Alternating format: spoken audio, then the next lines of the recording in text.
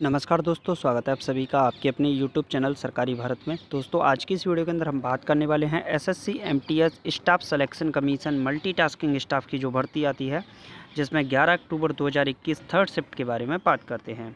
तो दोस्तों expected questions को देखेंगे मैथ जी के रीजनिंग के सभी क्वेश्चंस को देखने वाले हैं। तो दोस्तों, आप सभी को बता दें, अगर आप एस एसएससी एमटीएस की staff selection commission multitasking staff की तैयारी कर रहे हैं तो जो आपका पेपर है वो पाँच अक्टूबर से लेकर कब तक चलने वाला है? बीस अक्टूबर तक आपका पेपर चलने वाला है। इसके दो दिन बाद ही हम 22 अक्टूबर से आपके लिए टायर टू की क्लास स्टार्ट कर रहे हैं, जिसमें डेस्क्रिप्टिव पेपर होता है टायर टू जिसमें हम आपको बताएँगे कैसे ऐसे लिखते हैं लेटर राइटिंग को किस तरीके से लिखा जाता है। तो इसकी पीडीएफ भी आपको पर डे इस चैनल पर मिलती रहेगी। तो आप लोग चैनल को सब्सक्राइब करना बिल्कुल मत भूलिएगा। चैनल को सब्सक्राइब कर लीजिएगा, ताकि आपको लेटर राइटिंग ऐसे डेस्क्रिप्टिव पेपर की कंप्लीट तैयारी फ्री ऑफ़ कॉस्ट मिल जाए। तो दोस्तों, सबसे पहले आप लोग चैनल को सब्सक्राइब कीजिएगा। चलिए स्टार्ट करते हैं वीडियो को। चलिए दोस्तों तो देखते हैं सबसे पहले मैथ का सवाल है। मैथ का सवाल है, एक आदमी को अपने खाने के बिल पर 30 परसेंट और फिर 20 परसेंट की छूट मिलती है। उसे कितनी छूट मिलती है? देखिए, एक व्यक्ति है, उसको कितने रुपए की छूट मिलती है? पहले 30 परसेंट की छूट मिलती है बिल पे, फिर कितने की मिलती है? बीस परसेंट की। मान लीजिए कि उसको सौ रुपये देने हैं तो सौ पे कितने की छूट हो गई? तीस परसेंट की छूट हो गई। तीस परसेंट का मतलब वो कितने रुपए का हो गया? सत्तर रुपये का हो गया। बिल आपका कितना बचा? सत्तर रुपये अब सत्तर पे भी आपको कितने की छूट मिल रही है? तो सत्तर रुपये बीस परसेंट की छूट मिल रही है, यानी कि एक बटा पाँच, यानी कि चौदह रुपये की फिर से छूट मिल रही है। तो आपको कितना रुपया पे करना पड़ेगा? छप्पन रुपये भाई, सत्तर में से चौदह को घटाओ तो कितना? छप्पन रुपये देना होगा। यानी कि आपको कितना रुपया देना है? छप्पन रुपये। कुल मिला के पहले वस्तु कितने की थी? सौ की। पहले वस्तु कितने रुपए की थी? सौ रुपये की थी। अब वस्तु आपके लिए कितने की रह गई? छप्पन की रह गई। यानी कि आपको छूट कितने रुपए की मिल गई? भैया, चवालीस रुपये की छूट मिल गई। अगर परसेंट में लिखना चाहें तो हम इसको लिखेंगे फोर्टी फोर परसेंट की आपको छूट मिलती है। तो टोटल डिस्काउंट कितना हो जाएगा? Forty four percent. चलिए फ्रेंड्स, नेक्स्ट क्वेश्चन देख लेते हैं। नेक्स्ट क्वेश्चन है दोस्तों, कोनेरू हम्पी किस खेल से संबंधित है? देखिए, कोनेरू हम्पी की बात करें तो ये हैं शतरंज से संबंधित है। किस खेल से संबंधित है? शतरंज से। आपसे पूछ सकता है आपसे पूछ सकता है कि जो नीरज चोपड़ा है, जिन्होंने क्या जीता था? गोल्ड मेडल जीता था ओलंपिक में। ये किससे संबंधित है? तो ये है भाला फेंक से संबंधित। किससे संबंधित है? भाला फेंक से। आपसे पूछ सकता है, रानी रामपाल का संबंध किससे है? तो इनका संबंध है हॉकी से। किससे है? हॉकी से। आज आपसे पूछ सकता है, बजरंग पुनिया। जो बजरंग पुनिया है, इनका संबंध किससे है? तो इनका संबंध है कुश्ती से। आपसे पूछ सकता है हेमादास जो हेमादास है, वो किससे संबंधित है? तो इनको ढिंग एक्सप्रेस भी कहा जाता है। ये कौन का है? कौन है? धाविका है। ठीक, आपसे पूछ सकता है, मरियप्पन थंगावेलू का संबंध किससे है? मरियप्पन थंगावेलू। तो ये कौन है? पैरा एथलीट हैं। कौन है? पैरा एथलीट हैं। तो इस प्रकार के क्वेश्चन आपसे पूछे जा सकते हैं। चलिए फ्रेंड्स नेक्स्ट क्वेश्चन देख लेते हैं। नेक्स्ट क्वेश्चन है, समाचार चैनल टाइम्स नाउ के टाइम्स के प्रमुख संपादक कौन है? तो इसका सही जवाब है दोस्तों, राहुल शिवशंकर। राहुल शिवशंकर, समाचार चैनल टाइम्स के प्रमुख संपादक है या मुख्य संपादक हैं। चलिए friends next question next question है, कुचिपुड़ी नृत्य नाटक किस राज्य से संबंधित है? देखिए, कुचिपुड़ी की बात करें तो ये आंध्र प्रदेश का नाटक है। किस प्रदेश का है? आंध्र प्रदेश का। आपसे पूछता है, राउफ कहाँ का है? तो आंध्र प्रदेश का है। ठीक, आपसे पूछता है, बोडो कहाँ का है? डोगरी कहाँ का है? तो ये भी आंध्र प्रदेश से संबंधित है। चलिए फ्रेंड्स नेक्स्ट क्वेश्चन चलिए फ्रेंड्स नेक्स्ट क्वेश्चन देख लेते हैं। नेक्स्ट है, वर्ष 2020 का अंतिम ग्रैंड स्लैम फ्रेंच ओपन कहाँ पर आयोजित किया गया था? तो ये किया गया था फ्रांस की राजधानी राजधानी पेरिस में, कहाँ पर? फ्रांस की राजधानी पेरिस के अंदर किया गया था। चलिए फ्रेंड्स, नेक्स्ट क्वेश्चन देख लेते हैं। नेक्स्ट क्वेश्चन है, विश्व पर्यटन दिवस कब मनाया जाता है? देखिए, वर्ल्ड टूरिज़्म डे की बात करें तो ये सत्ताईस सितंबर को मनाया जाता है। कब मनाया जाता है? सत्ताईस सितंबर को। आपसे पूछ सकता है, सोलह सितंबर को क्या मनाया जाता है? तो आपका ओजोन संरक्षण दिवस मनाया जाता है। पाँच जून को क्या मनाया जाता है? विश्व पर्यावरण दिवस मनाया जाता है।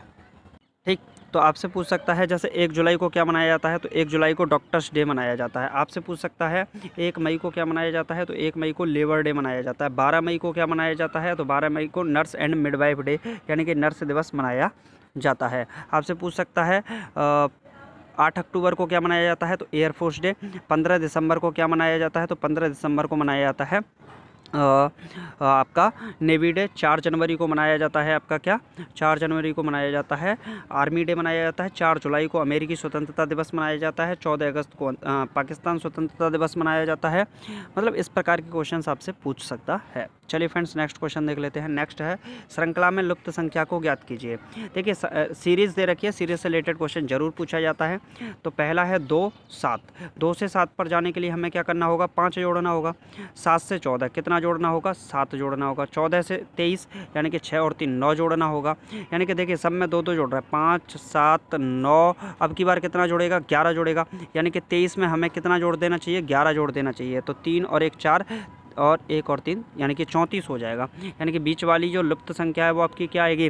थर्टी फोर आपकी लुप्त संख्या निकल कर आएगी। चलिए फ्रेंड्स नेक्स्ट क्वेश्चन देख लेते हैं। नेक्स्ट क्वेश्चन है, एक व्यक्ति अपनी मासिक आय का पचासी प्रतिशत खर्च करने के बाद छत्तीस सौ रुपये प्रतिमाह की बचत करता है। देखिए, जो टोटल अमाउंट है मंथली जो इनकम है, उसका पचासी परसेंट खर्च कर देता है तो उसको बचत कितने की होती है? भैया सेविंग कितने रुपए की है? छत्तीस सौ रुपये की है। और एक्सपेंडिचर कितना है? एक्सपेंडिचर है आपका कितना? पचासी परसेंट यानी कि सेविंग वास्तव में परसेंट में कितनी है? पंद्रह परसेंट की। भाई, कोई भी चीज़ अपने आप में होती है, सौ परसेंट होती है। पचासी परसेंट आपने खर्च कर दिया तो पंद्रह परसेंट सेविंग हुई। इसका मतलब सीधा सीधा हुआ कि पंद्रह परसेंट का जो मीनिंग है, वो छत्तीस सौ रुपये है। कितना है? छत्तीस सौ रुपये। आपसे सौ परसेंट की वैल्यू, क्योंकि सौ परसेंट आपकी कुल कमाई होगी तो छत्तीस सौ बटे पंद्रह गुड़े सौ। यही तो होगा। कैंसिल आउट करेंगे, पाँच से जाएगा तीन बार, और पाँच से जाएगा पाँच से जाएगा तीन बार, और पाँच से जाएगा आपका बीस पंजे सौ। तीन से काटेंगे तो कितना? बारह तीन छत्तीस बारह सौ। बारह सौ का गुणा बीस से करेंगे तो कितना होगा? बारह दूनी चौबीस, ट्रिपल ज़ीरो, कितना हो जाएगा? Triple zero. यानी कि कुल इनकम की बात करें तो उस बंदे की मतलब उस आदमी की जो इनकम है वो कितनी है? चौबीस हज़ार रुपया वो कुल कमाता है। चलिए फ्रेंड्स नेक्स्ट क्वेश्चन देख लेते हैं। नेक्स्ट क्वेश्चन है भारत में किस रे, किस गवर्नर जनरल के समय रेलवे का शुभारंभ हुआ था? देखिए अठारह सौ तिरपन की बात है। अठारह सौ तिरपन में लॉर्ड डलहौजी ने किसने? लॉर्ड डलहौजी ने मुंबई से ठाड़े के बीच में भारत की पहली रेल चलाई थी। ठीक है तो इसका सही जवाब क्या हो जाएगा? इसका सही जवाब हो जाएगा लॉर्ड डलहौजी चलिए फ्रेंड्स नेक्स्ट क्वेश्चन देख लेते हैं। नेक्स्ट क्वेश्चन है देशबंधु के नाम से किसे जाना जाता है? देखिए देशबंधु के नाम से जाना जाता है चित्रंजन दास। किसको जाना जाता है? चित्रंजन दास। आपसे पूछ सकता है, बंग बंधु के नाम से किसको जाना जाता है? तो शेख मुजीबुर रहमान को, किसको? शेख मुजीबुर रहमान, जो पाकिस्तान सॉरी बांग्लादेश के जनक माने जाते हैं। ठीक तो बंगबंधु के नाम से माना जाना जाता है शेख मुजीबर रहमान को। चलिए फ्रेंड्स नेक्स्ट क्वेश्चन है। नेक्स्ट क्वेश्चन है, दिलवाड़ा मंदिर भारत में किस राज्य में स्थित है? देखिए, दिलवाड़ा मंदिर की बात करें तो ये माउंट आबू के अंदर है, कहाँ पर है? माउंट आबू के अंदर है, कहाँ पर? राजस्थान के अंदर स्थित है। चलिए फ्रेंड्स नेक्स्ट क्वेश्चन देख लेते हैं। नेक्स्ट क्वेश्चन है, राउफ नृत्य भारत के किस राज्य में स्थित है? तो अभी अभी मैंने बताया था, कुचिपुड़ी, आपका आंध्र प्रदेश में राउफ कहाँ पर है? जम्मू कश्मीर के अंदर स्थित है।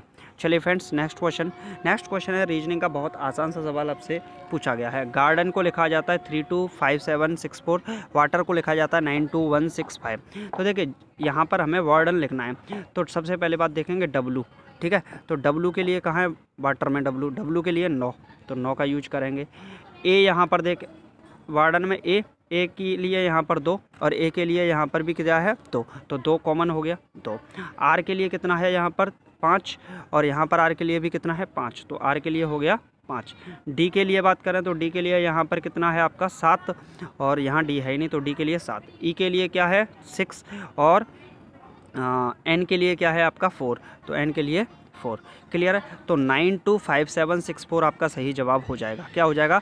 Nine two five seven six four चलिए फ्रेंड्स नेक्स्ट क्वेश्चन देख लेते हैं। नेक्स्ट क्वेश्चन है, चार प्रतिशत वार्षिक साधारण ब्याज की दर से पच्चीस सौ रुपये का तीन वर्ष का ब्याज होगा। देखिए, आपका सिंपल इंटरेस्ट का फॉर्मूला होता है principal into rate into time बटा सौ। यही तो होता भाई। क्लियर है? तो प्रिंसिपल कितना है आपका? पच्चीस सौ रुपये है। समझिए दोबारा से। देखिए सिंपल इंटरेस्ट बराबर आपका साधारण ब्याज की दर से पच्चीस सौ रुपये। तो पच्चीस सौ रुपये आपका मूलधन हो गया। अच्छा जी, रेट क्या है? चार परसेंट की। समय कितना है? तीन। बटे में कितना होगा भैया? सौ। दो ज़ीरो से दो ज़ीरो निपटा दिया, पच्चीस चौके सौ और सौ का तीन से करेंगे तो तीन सौ। यानी कि आपकी जो ब्याज निकल कर आएगी, वो कितनी निकल कर आएगी? तीन सौ रुपया ब्याज निकल कर आएगी। तो जो सिंपल इंटरेस्ट होगा, साधारण ब्याज तीन सौ रुपया होगी। चलिए फ्रेंड्स नेक्स्ट क्वेश्चन है। सीबीबी की फुल फॉर्म क्या होती है? देखिए फुल फॉर्म से रिलेटेड क्वेश्चन ज़्यादा पूछे जाते हैं तो ये आपके लिए बहुत ज़्यादा इंपॉर्टेंट है। सीबीबी की फुल फॉर्म होती है कार्ड वेरिफिकेशन वैल्यू क्या होती है कार्ड वेरिफिकेशन वैल्यू आपसे फुल फॉर्म पूछ सकता है डी की फुल फॉर्म क्या है? देखिए डाटाबेस मैनेजमेंट सिस्टम इसकी फुल फॉर्म होती है। आपसे ए की फुल फॉर्म पूछ सकता है अर्थमेटिक लॉजिक यूनिट होती है। रैम की फुल फॉर्म पूछ सकता है रैंडम असेस मेमोरी रोम की फुल फॉर्म पूछ सकता है रैंडम ओनली मेमोरी तो ये सभी इसकी फुल फॉर्म्स होती हैं। चलिए फ्रेंड्स नेक्स्ट क्वेश्चन देख लेते हैं। नेक्स्ट क्वेश्चन क्या है दोस्तों? नेक्स्ट है राजीव गांधी राष्ट्रीय सद्भावना पुरस्कार सर्वप्रथम किस आ, किसे मिला था? तो राजीव गांधी राष्ट्रीय सद्भावना पुरस्कार सबसे पहले किसको मिला था? मदर टेरेसा को मिला था। इनको शांति का नोबल प्राइज़ भी मिला था शायद उन्नीस सौ इकहत्तर के करीब मिला था। आप लोग एक बार चेक कर लीजिएगा ठीक है? कमेंट बॉक्स में बताइएगा कब मिला था। चलिए नेक्स्ट क्वेश्चन देख लेते हैं। नेक्स्ट क्वेश्चन है एंटोमोलॉजी का संबंध किससे है? तो एंटोमोलॉजी का संबंध है कीट विज्ञान से। किससे कीट विज्ञान से। आपसे पूछ सकता है, सिस्मोग्राफ का संबंध किससे है? सिस्मोग्राफ। तो इसका भूकंप की तीव्रता को मापने के लिए इसका प्रयोग किया जाता है सिस्मोग्राफ का। चलिए फ्रेंड्स नेक्स्ट क्वेश्चन देख लेते हैं। नेक्स्ट क्वेश्चन है ओएमआर की फुल फॉर्म क्या है? तो ऑप्टिकल मार्क रीडर ओएमआर की फुल फॉर्म होती है। किसकी फुल फॉर्म होती है? ऑप्टिकल मार्क रीडर आपकी ओएमआर की फुल फॉर्म होती है। चलिए फ्रेंड्स नेक्स्ट क्वेश्चन देख लेते हैं। नेक्स्ट है, किसे भारत का अगला थल सेना प्रमुख चुना गया है? तो मनोज मुकुंद नरवड़े। किसको? मनोज मुकुंद नरवड़े को भारत का अगला थल थल सेना प्रमुख चुना गया है। नेक्स्ट क्वेश्चन है दोस्तों कंप्यूटर के क्षेत्र में महान क्रांति कब आई थी? तो कंप्यूटर के क्षेत्र में महान क्रांति आई थी 1960 में। कब आई थी? 1960 में। तो दोस्तों, आज की वीडियो में सिर्फ़ इतना ही। अगर आप भी एस एस की तैयारी कर रहे हैं एस एस में सिलेक्शन लेना चाहते हैं और आपको टायर टू की तैयारी करनी है तो चैनल को सब्सक्राइब ज़रूर कर दीजिएगा। चलिए, मिलते हैं नेक्स्ट वीडियो में। Thank you thank you for watching this video